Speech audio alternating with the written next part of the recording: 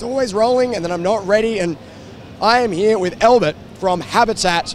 Elbert, I've heard that Habitat is basically the best thing since sliced bread. Is this true? Of course it is. It's, it's like a physics-based game where where you mix Minecraft and uh, Kerbal Space Program, and it's a very fun mix that people have been enjoying like this past few days in PAX, and everyone's been laughing and enjoying, and we're like, wow, our game is fun, and people are seeing it, which is fun. Now, Elbert, I've heard rumors that there was a very successful Kickstarter. Is this is this true? So right now we're we're we're halfway through our Kickstarter, uh, 11 days in.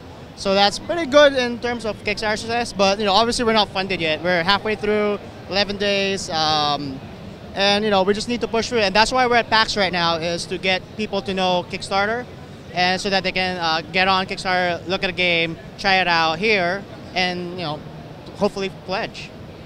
Fantastic. So, guys, search for Habitat on Kickstarter if you are thinking this is something that might be up your alley. Now, Albert, in terms of the gameplay of Habitat, how far along the spectrum of simulation are we? If Kerbal Space Program is out here and uh, a really arcadey game is out here, where are we?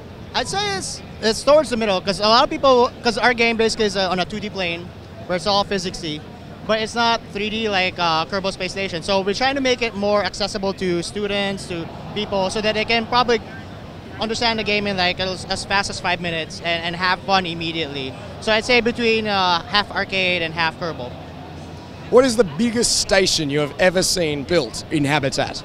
Oh lordy, uh, it's pretty big. Uh, I'd say probably as big as this convention center right now. And the, I, we had someone who tried to like grab all the junk and build it, and he successfully actually built it, and you know obviously it destroyed itself because you know that's what happens in Habitat.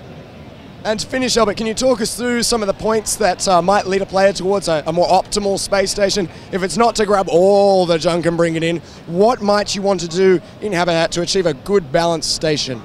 So that, that's a funny thing because like um, we make sure that the player decides what they want for the station. So there's actually no prescribed way of making one. Obviously, you know, if you want to control your space station, you want booster rockets on all different sides of the game.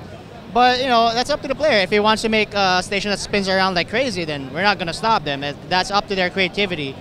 And you know, there's other resources like oxygen, electricity, and um, other kinds of resources that you might want to balance out if you want your citizens to live. But still, that's still up to you if you want to do that or not. So we're, we're leaving it to the player. Okay, fantastic. Oh we're going to leave it there, but guys, search for Habitat on Kickstarter. Get a load of this game. It looks very exciting, and if it's up your alley, you should definitely back it. Well, you know, we've been through survival training for the show because we were warned, and so we're pretty confident that we can last until about uh, midday tomorrow.